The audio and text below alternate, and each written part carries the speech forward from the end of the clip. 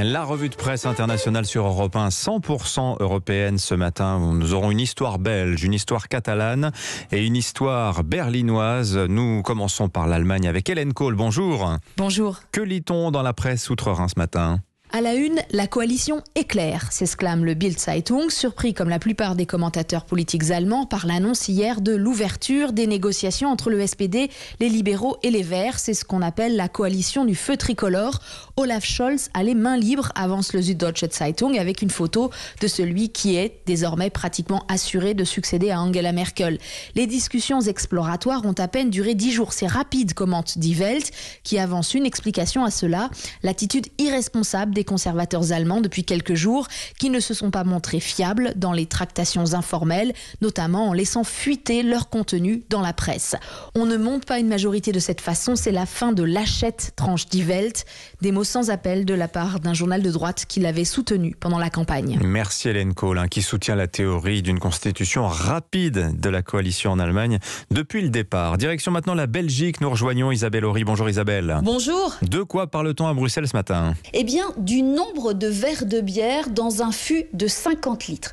Une question à 200 millions d'euros, selon la Libre Belgique. Le fisc belge applique une TVA forfaitaire en comptant 192 verres dans un fût, explique le quotidien. Or, pour les cafetiers, il y en a 168 seulement. Ces derniers ont même fait constater la chose par huissier, raconte le journal économique L'Echo. Il cite la Fédération des cafetiers. 24 verres de bière sont taxés d'office alors qu'ils ne sont pas vendus puisqu'ils n'existent pas. La bataille juridique durait depuis 2013, peut-on lire dans le soir. Le Conseil d'État belge vient de donner raison aux cafetiers. Leur prochaine bataille, nous apprend la presse, le café et le nombre de tasses servies par kilo cette fois. Merci Isabelle. Enfin en Espagne, bonjour Henri de la Guéry. Bonjour. Alors chez vous ce matin, il est question D'une institution sportive en péril, le FC Barcelone est ruiné. Hier, les conclusions d'un audit sur les finances du club l'ont confirmé. La gestion de ces dernières années a été désastreuse, peut-on lire dans Mundo Deportivo. Le Barça était en faillite technique au printemps dernier, révèle le rapport.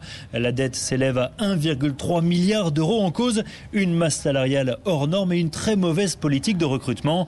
En quelques années, les salaires des joueurs ont augmenté de 60% dans El País. On lit ce chiffre ahurissant. Le club a dépensé 1 milliard 400 millions d'euros en 4 ans pour payer les seuls salaires de Messi, Griezmann, Dembélé et Coutinho. On recrutait des joueurs sans savoir si on allait pouvoir les payer, a expliqué le nouveau directeur général du club. À ce désastre financier s'ajoute maintenant un désastre sportif. Et dernier de son groupe en Ligue des Champions, le Barça ne pointe qu'à la 9 place du championnat d'Espagne. Voilà, et Martin Lange, notre spécialiste sport, m'apprend à l'instant que le FC Barcelone faisait des cours à Harvard sur l'art de gérer une entreprise. Il est